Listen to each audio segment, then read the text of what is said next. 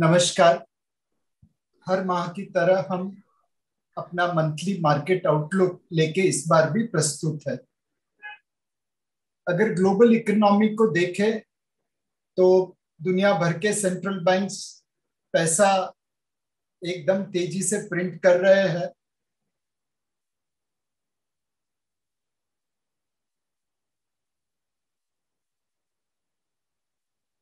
और मोटा मोटा पिछले 18 महीनों में प्रति घंटे 834 मिलियन डॉलर प्रिंट हुए हैं। यही पैसा जाके फिर डेट और इक्विटी जैसे फाइनेंशियल प्रोडक्ट्स में निवेश हो रहा है और आज equity and debt securities as a percentage of global GDP all time high level पे है। दुनिया का मार्केट कैप भी ऑल टाइम हाई लेवल पे पहुँचा हुआ है।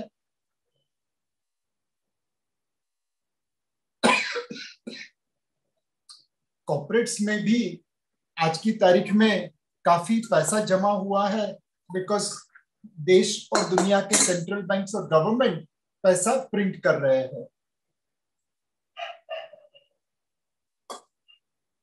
रिटेल निवेशकों के पास पूरी दुनिया में पैसा आया है वही सेंट्रल बैंक और गवर्नमेंट के स्पेंडिंग के द्वारा।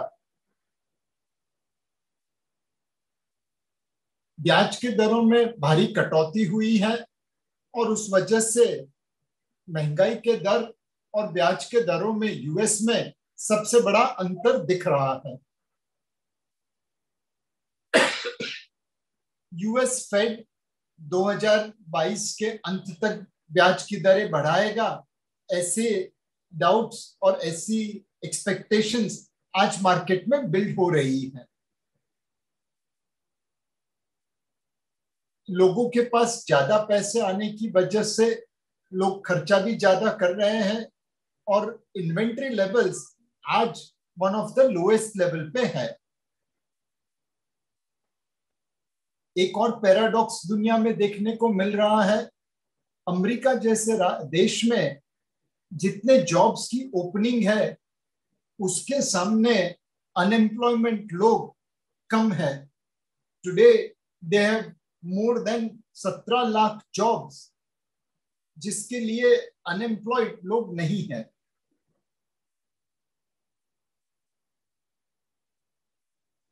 यूएस में कोविड 19 के केसेस वापस बढ़ने लगे हैं। और हॉस्पिटल्स में भी प्रेशर आना चालू हुआ है। वहाँ पे भी आईसीयू और ऑक्सीजन की तंगी लोगों को दिख रही है। भारत की अगर अर्थव्यवस्था देखे तो अगस्त 21 की सुर्खियाँ काफ़ी पॉजिटिव थी।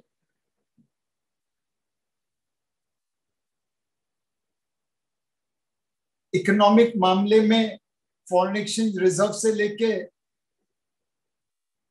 प्रीवियस स्लाइड प्लीज़ इकोनॉमी के मामले में foreign exchange reserves exports overall GDP growth या कोविड 19 के रिस्ट्रिक्शंस के बाद बढ़ती हुई इकोनॉमिक रिकवरी ये सारी चीज़ें काफ़ी पॉजिटिव है।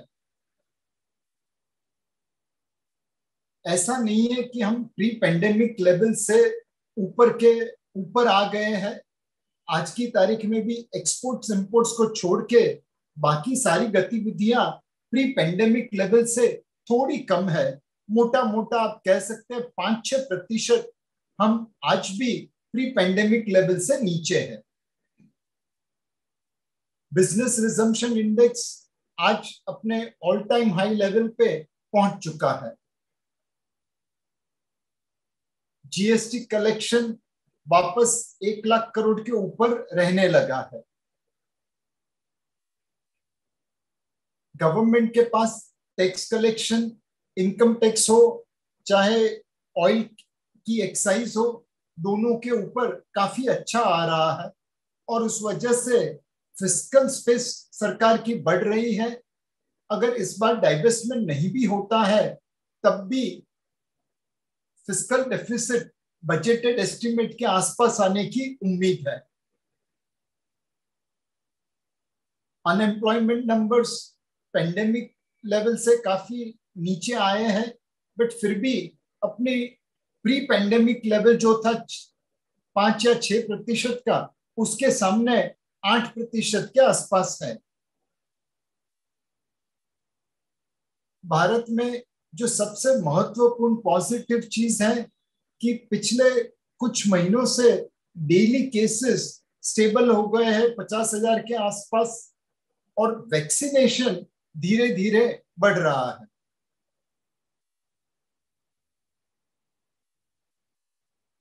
मार्केट के लिए कोरोना की तीसरी वेव कैसी होगी, वह एक अनुमान का विषय है। अगर उस तीसरी वेव में पीएमआई 50 के नीचे रहे 50 के ऊपर रहे जीएसटी कलेक्शन एक लाख करोड़ से ऊपर रहे और बिज़नेस रिजम्पशन इंडेक्स 75 के ऊपर रहे तो मेरे हिसाब से मार्केट आगे चलता रहेगा। हमें दुनिया की एक्सपेक्टेशन पे खरा उतरना है और ऑस्ट्रेलियन पीएम टॉनी एबॉट ने कहा है कि दुनिया के हर क्वेश्चंस जो चाइना रिलेटेड है, उसका आंसर सिर्फ़ इंडिया है, जो एक डेमोक्रेटिक कंट्री है रूल ऑफ़ लॉ के नीचे है एंड जो चाइना को ग्लोबल सप्लाई चेन में बड़ी बखूबी सब्सटीट्यूट कर सकता है। अगर हम पीएलआई योजना को देखें तो वहाँ पे कुछ सक्सेस स्टोरीज सामने इमर्ज होने लगी है। एक समय था जब भारत मोबाइल फोन्स इंपोर्ट करता था। आज की तारीख में सैमसंग और एप्पल के मोबाइल फोन्स बनाने वाले तीनों supplier Wistron Foxconn, Pegatron, Hindustan में अपना प्लांट लगाए बैठे हैं। उनके वेंडर को यहाँ पे बुला के glass display rubber plastic component PCB board motor यह भी कर रहे हैं। हमें लगता है पीएलआई स्कीम भारत की इकोनॉमिक वृद्धि के लिए और मैन्युफैक्चरिंग सेक्टर के ग्रोथ के लिए बहुत ही महत्वपूर्ण योगदान करेगी। आप में से बहुत लोगों ने गुड़गांव देखा होगा, कैसे मारुति सुजुकी की आने से एक farm land vibrant automobile hub में कन्वर्ट हो गया। कुछ ऐसा ही माहौल श्री सिटी जो कि चेन्नई की आउटस्किट्स पे है, वहाँ पे इलेक्ट्रिकल्स एंड इलेक्ट्रॉनिक्स का दिख रहा है। 120 से ज़्यादा कंपनी चौदह हज़ार करोड़ से ज़्यादा का एक्सपोर्ट करती है। और कई कंपनीज़ वहाँ पे अपना प्लांट लगाने के लिए लाइन में खड़ी है। श्री सिटी जैसे गुड़गांव ऑटोमोबाइल के लिए एक्सपोर्ट हब बना, वैसे इलेक्ट्रिकल्स और इलेक्ट्रॉनिक्स के लिए एक्सपोर्ट हब बन सकता है। आज की तारीख में कंपनीज़ के पास काफ़ी पैसा पड़ा है और वो पैसा तीन, चार, पाँच, छह टके पे डेट म्यूचुअल फंड में लगाए या बैंक फिक्स डिपॉजिट्स में लगाए, उससे बेहतर होगा कि वो बिज़नेस में निवेश करे। और हमें लगता है पीएलआई स्कीम जैसी स्कीम्स का बहुत सारी इंडियन कंपनी फ़ायदा उठाएँगे। अगर आप स्टॉक मार्केट को देखें तो मेटल स्टॉक और आईटी सेक्टर ने इस साल बहुत अच्छा परफॉर्मेंस दिया है। मिड कैप और स्मॉल कैप ने भी लार्ज कैप से अच्छा परफॉर्मेंस दिया है। रिटेल की बाइंग धुआंधार चल रही है पिछले कुछ क्वार्टर से। एफपीआई भी सबसे सारे जहाँ में अच्छा हिंदुस्तान हमारा, वो भी कर रहे हैं।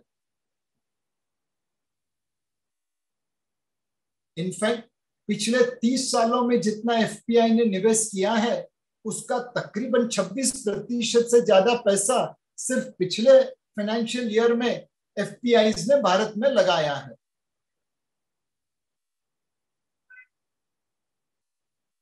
आज की तारीख में हमारा कॉल वैल्यूएशन और मोमेंटम के अनुरूप neutral weight equal weight to equity है।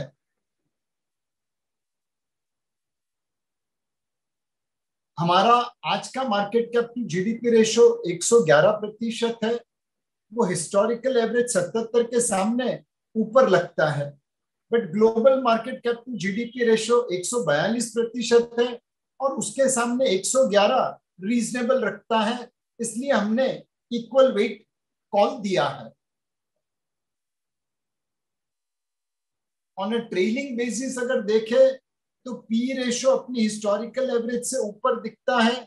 प्राइस टू बुक भी थोड़ा ऊपर दिखता है। बट फॉरवर्ड बेसिस पे देखे तो ये नंबर रीजनेबल लगते हैं।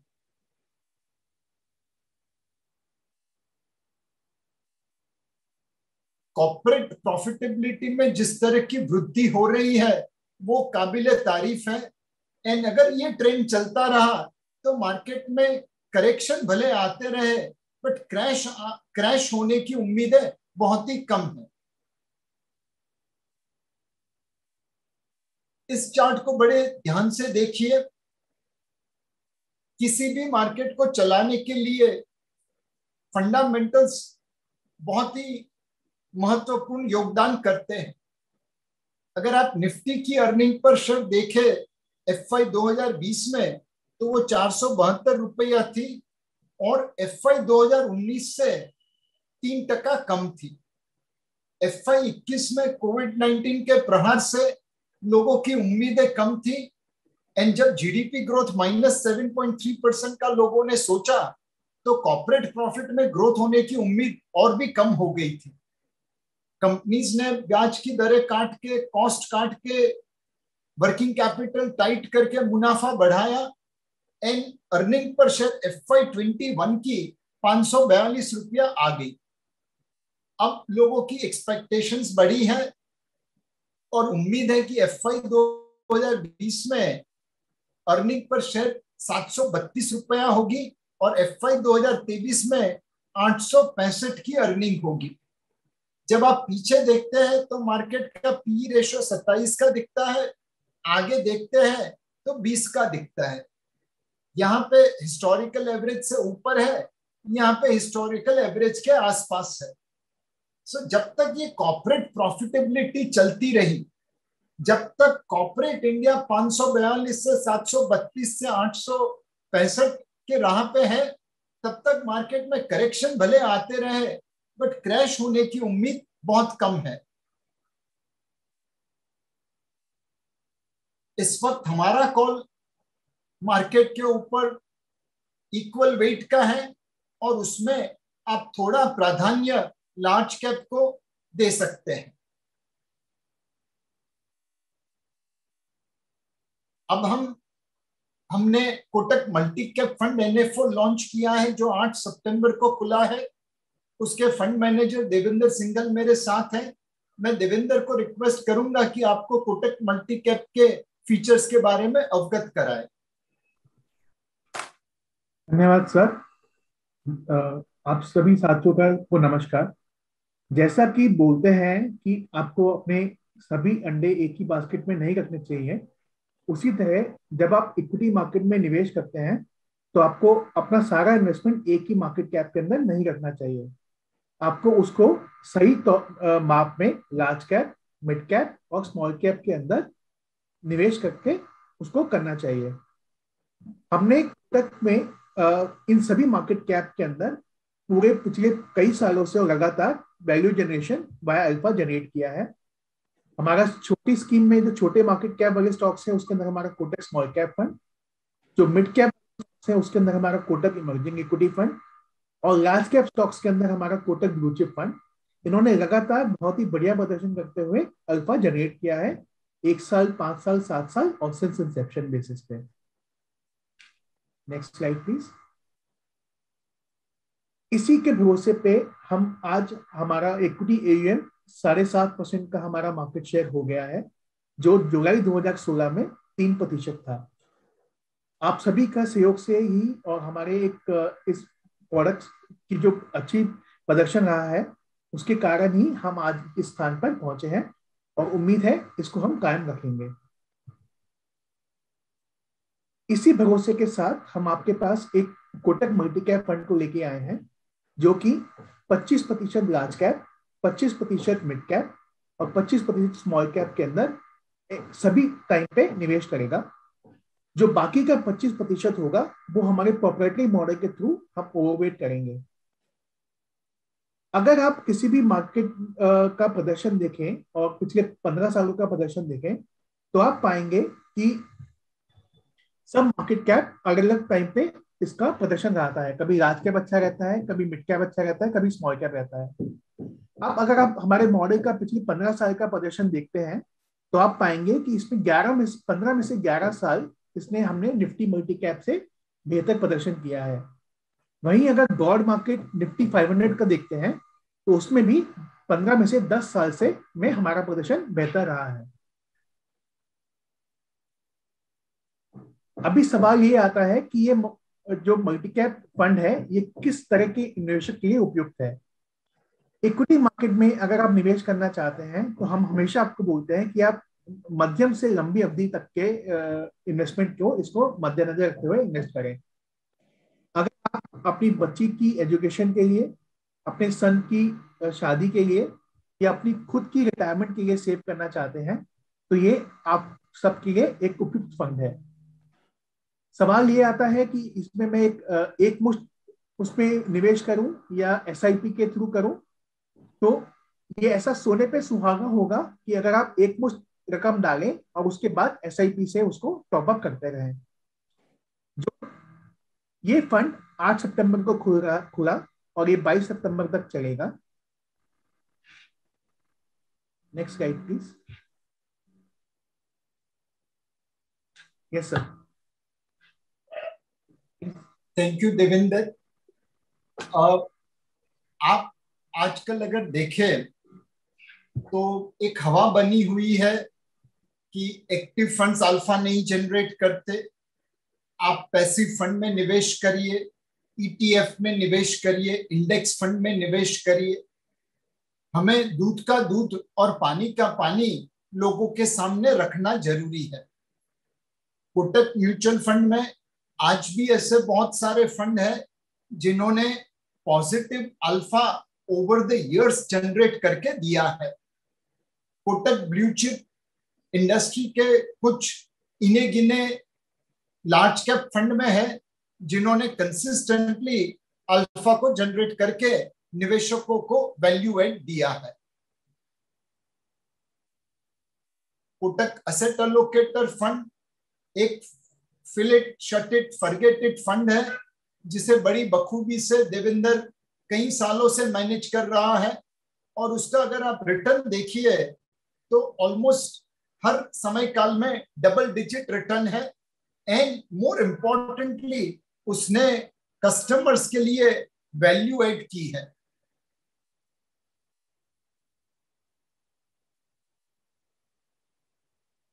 जब आज माहौल बना है अल्फ़ा जनरेट नहीं होता वैल्यू एड नहीं होती, तब आप हमारे परफॉर्मेंस को देखिए।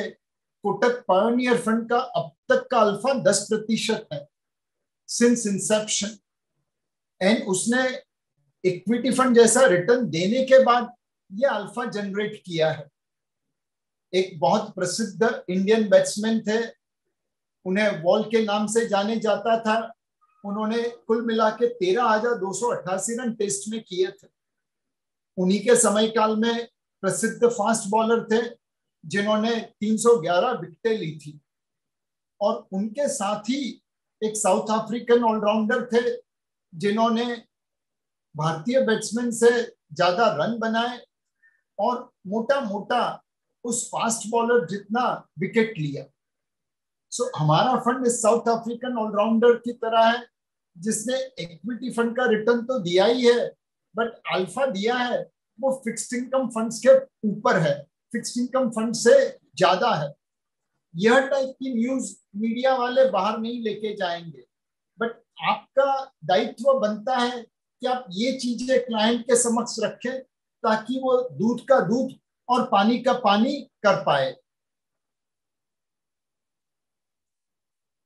हमारा एक और ग्लोबल फंड है Kotak global innovation fund of fund उसके अंडरलाइन फंड ने भी तकरीबन तेरह प्रतिशत अल्फ़ा जनरेट किया है। इक्विटी का रिटर्न तो देते ही है बट फिक्स इनकम से ज़्यादा वैल्यू एड या अल्फ़ा जनरेट करके देते हैं। एक सवाल उठता है लोगों के मन में, सोने में हम निवेश करें कि नहीं? तो एक फंड मैनेजर जिन्होंने 2016 में कॉल लिया था कि गोल्ड के दाम बढ़ेंगे। आज वापस कॉल दे रहे हैं कि सोने के दामों में बढ़ोतरी हो सकती है। हमने एक चार्ट देखा जो कॉन्फिडेंस देता है कि यहाँ से सोने के दाम में बढ़ोतरी हो सकती है। यह गोल्ड और S and P five hundred जो इक्विटी इंडेक्स है, उसकी कंपैरिजन करता है। जब S and P five hundred और गोल्ड का रेशियो 1.6 टाइम हो जाता है, तब गोल्ड महँगा और इक्विटी सस्ता लगता है। जब वो नीचे के लेवल पे आ जाए तो गोल्ड सस्ता और इक्विटी महँगा बनता है। कुल मिला के अगर हम इक्विटी की तुलना में सोने को देखें तो इस वक्त सोना सस्ता लग रहा है और हो सकता है कि निवेशक निवेश करके वापस इस रेशो को थोड़ा ऊपर ले जाए।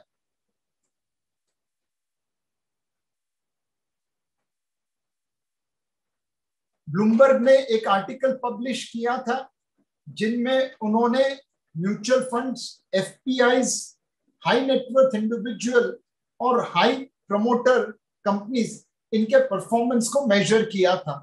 और उन्होंने कहा कि जिन स्टॉक्स में म्यूचुअल फंड्स की होल्डिंग ज़्यादा होती है, वह स्टॉक्स सबसे अच्छा रिटर्न देते हैं। ये चीज़ बहुत कम लोग जानते हैं कि म्यूचुअल फंड्स जिस जिस कंपनीज़ में ज़्यादा निवेश करते हैं, वो ज़्यादातर मार्केट को आउट परफॉर्म करते हैं और फॉरेन पोर्टफोलियो इन्वेस्टर्स या एचएनआई इन्वेस्टर्स के पोर्टफोलियो से भी ज़्यादा रिटर्न देते हैं। अगर आप इंडेक्स फंड को देखें तो लोग कभी ये नहीं कहते कि इंडेक्स फंड अपने बेंचमार्क को अंडर परफॉर्म करता रहता है। यह चीज़ आपको अपने निवेशकों के सामने रखनी पड़ेगी कि भैया, ऐसा नहीं है कि इंडेक्स फंड इंडेक्स का आउट परफॉर्म करे, वह भी अंडर परफॉर्म कर सकता है। एंड मैंने जैसे पहले बताया this is Kotak mutual funds alpha generation track record across innovative funds like pioneer और sectoral funds like infrastructure and economic reform or small cap fund like Kotak small cap, mid cap fund like emerging equity, concentrated fund like focused fund, asset allocator fund, yeah, flexi cap fund, yeah, large and mid cap like equity opportunity, yeah, balanced fund, yeah, large cap fund like blue chip or multi cap fund like tech server. Across most time periods, we have delivered outperformance over benchmark index. ये data आपको आपके investor समक्ष प्रस्तुत करना पड़ेगा, ताकि वो गुमराह ना हो जाए कि भैया आप तो इंडेक्स फंड और ईटीएफ में ही निवेश करना चाहिए। आज भी एक्टिव फंड मैनेजर उन्हें वैल्यूएट कर सकता है। एसआईपी में भी अगर आप देखें तो आज जो अल्फ़ा जनरेशन ये एसआईपी के रिटर्न्स नहीं है ये एस में हमने कितना अल्फ़ा जनरेट किया, वो डेटा है। आज अगर एस के रिटर्न्स देखिए तो दस दस साल के लिए बीस बीस तेईस तेईस प्रतिशत रिटर्न है। एंड अल्फ़ा भी जम के आया है। इसमें सिर्फ़ एक ही अग्नि परीक्षा है आज के अच्छे रिटर्न पाने के लिए डबल डिजिट रिटर्न पाने के लिए आपको मार्च 20 की अग्नि परीक्षा से पसार होना पसार होना ज़रूरी था।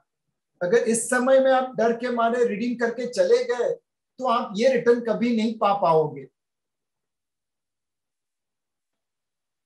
एसआईपी के लिए यह एक बहुत ही उचित कोट है कि जैसे top up in vaccine is good for physical health वैसे ही S I P is good for your financial health S I P top up is good for your financial health अगर डेट मार्केट की बात करें तो system में liquidity भरपूर है। और महँगाई के दर इस वक्त काबू में है। बट जनरली इस समय काल में देखते हैं अनसीजनल रेन की वजह से पोटेटो पोटेटो ओनियन इन कमोडिटीज के दाम में बढ़ोतरी हो सकती है और वह मार्केट के मूड को इम्पैक्ट कर सकता है। महँगाई के दर इस वक्त रीजनेबली कंट्रोल में है consumer price level and wholesale price level जो थोड़ा ऊपर है, उसमें भी अगर आप कोर डब्ल्यू देखे फ्यूल एंड फ़ूड को निकाल के तो नंबर्स काफ़ी रीजनेबल है। एफपीआई पिछले चार महीनों की सेलिंग के बाद अब डेट मार्केट में बायर बने हैं एंड लोगों की ये एक्सपेक्टेशन है कि भारत वैश्विक डेट इंडेक्स में शामिल हो जाएगा तो और भी एफपीआई का पैसा इंडियन डेट मार्केट में आएगा। नेक्स्ट स्लाइड प्लीज़ आरबीआई एक कुशल मैजिशियन की तरह ब्याज के दर करेंसी फाइनेंशियल मार्केट स्टेबिलिटी और गवर्नमेंट की मैसिव बोरोइंग प्रोग्राम ये सबको संभाले हुए हैं। डेट मार्केट में निवेश करने के लिए कैरी स्ट्रेटेजी अनुरूप रहेगी और पाँच से छह सात साल का जो टाइम होराइजन है मेच्योरिटी पीरियड है, वहाँ पे यील्ड कर्व काफ़ी ठीक है। Long term yield curve flat है शॉर्ट टर्म यील्ड कर्व थोड़ा स्टीप है बट ये यील्ड कर्व काफ़ी रीजनेबल लगता है। एसडीएल में आज भी नॉर्मल गवर्नमेंट सिक्योरिटीज के सामने ज़्यादा रिटर्न मिल रहा है। तकरीबन सत्तर बेसिस पॉइंट का यहाँ पे एक्स्ट्रा रिटर्न है। बाज़ार में ब्याज की दरों में बढ़ोतरी होगी, वो काफ़ी हद तक डिस्काउंट हो चुका है। ओवरऑल डेट मार्केट में अगर आप निवेश करना चाहते हैं तो short to medium and reasonable लगता है। उसमें आप floating rate fund medium term fund या PSU bond fund corporate bond fund को मद्देनजर रख सकते हैं। डेट में निवेश करते समय एक चीज़ का ध्यान रहे कि जितनी आपकी इन्वेस्टमेंट होराइजन है, उसके आसपास अगर फंड की मेच्योरिटी है तो वो सबसे बढ़िया रहेगा। हमारा डायनामिक बॉन्ड फंड पिछले कई सालों से अच्छा परफॉर्मेंस दे रहा है और इसमें निवेश करने के लिए कंसिडर करना चाहिए। कई लोग डेट के कम रिटर्न की वजह से परेशान है, उन्हें हम हाइब्रिड स्कीम में लेके जा सकते हैं। हमारे पास कोटक डेट हाइब्रिड फंड 15 से 25 प्रतिशत इक्विटी में निवेश करता है। कोटक इक्विटी सेविंग्स फंड 25 से 40 प्रतिशत इक्विटी में निवेश करता है और कोटक इक्विटी हाइब्रिड फंड 70 प्रतिशत के आसपास इक्विटी में निवेश करता है। इन सारे फंडों ने कस्टमर्स के लिए पॉजिटिव वैल्यू एड की है और ऑलमोस्ट डबल डिजिट रिटर्न अलग अलग समय काल में निवेशकों के लिए जनरेट किया है।